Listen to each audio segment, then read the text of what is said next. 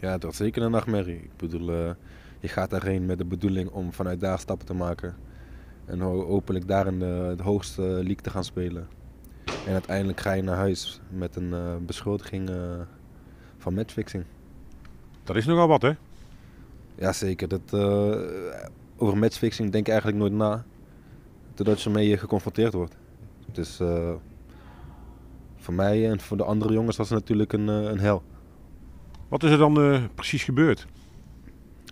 Nou, ehm, ja, wat er is gebeurd.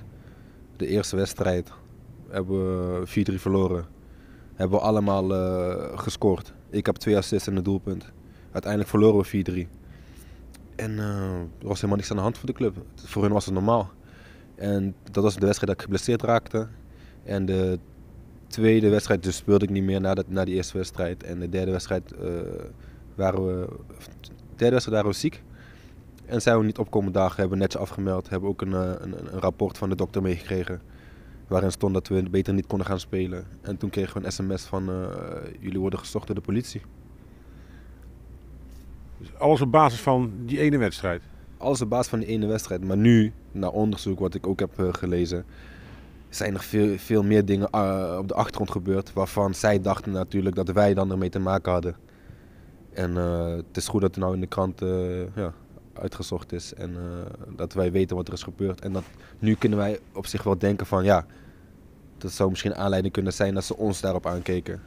Maar ja, dat hebben we natuurlijk niet gedaan. Als ik het even kort samenvat. ehm, ja, de gedachte is dat jullie in dienst zouden zijn, of in ieder geval voor het karretje waren gespannen voor een, een goksyndicaat.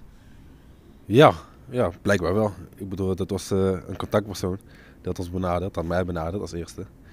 En eh, ja, eh, uiteindelijk is het een, een, een, een grote gokker. En dat wisten wij natuurlijk niet vooraf, anders eh, zouden we er niet naartoe gegaan. Je bent er een beetje in. We zijn er zeker in. Zeker, we zijn de type geworden van, ja, van zoiets eigenlijk. Ja, want die man hè, die heeft jullie naar die Finse club toegebracht. Maar eigenlijk had hele andere bedoelingen dan, eh, ja, dan jullie te helpen en de club te helpen. Ja, ehm, ja, hij had ons gewoon daarin gebracht om te zorgen dat het team in de league bleef. Dus ja, dat klinkt voor ons gewoon eh, proberen alles aan te doen om eh, in die league te blijven. En eh, ja, meer, eh, meer weet ik niet wat zijn gedachte erachter was. Ik bedoel, als je wedstrijden moet winnen, dan lijkt het me ook sterk dat het een matchfixing is. Want je moet altijd een wedstrijd willen winnen. Het heeft jou natuurlijk wel eh, enorm beschadigd. Het heeft me zeker eh, enorm beschadigd. Ik bedoel, eh, je, komt, je komt terug en je zit in het vliegtuig en gelijk de teammanager van, van het nationaal team stuurt je een, een, een, sms van hallo jongens, ik hoop dat dit niet waar is. Ja, daar begon het al. Toen kwamen we Nederland aan en eh, een paar dagen later stond in de Telegraaf. En toen, toen, was, toen, was het, toen was het gedaan.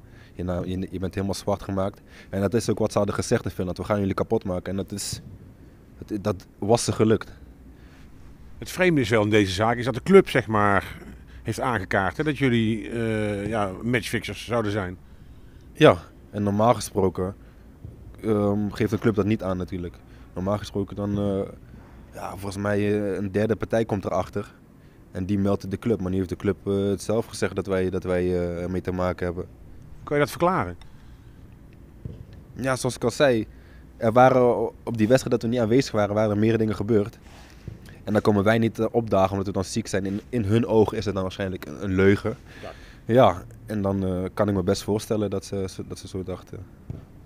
Maar jij kan, eh, ja, je durft je hand in het vuurtje steken voor het feit dat je er niks mee te maken hebt. 100 procent. 100 procent.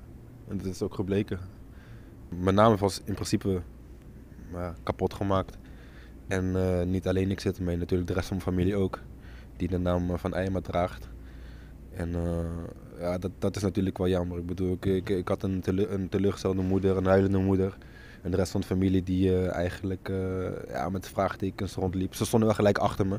En ook eh, het nationaal team. En, eh, Curaçao, hè, voor de duidelijkheid. ja, Curaçao, inderdaad. En eh, ja, ze stonden altijd achter ons. En, eh, maar al met al natuurlijk, het is wel je naam die verpest wordt eigenlijk. Heb jij zelf nooit eh, vraagtekens geplaatst bij jouw transfer naar de Finse derde divisie? Ehm, Weet je, dat is op het moment dat ik bij, bij Os wegging, had ik gehoopt dat ik naar een andere Jupiler League club kon. En uiteindelijk ga je met het nationaal team naar Curaçao. Nou, dan denk je van, dat is ook weer mooi meegenomen. En dan heb ik nog meer kans op een, op een club in de Jupiler League. Uiteindelijk kwam het er niet van. En was het zeg maar of, of geduld bewaren of snel een keuze maken. En op dat moment had ik een snelle keuze gemaakt. En heb, heb ik voor Finland gekozen. Ja, een avontuur in Finland.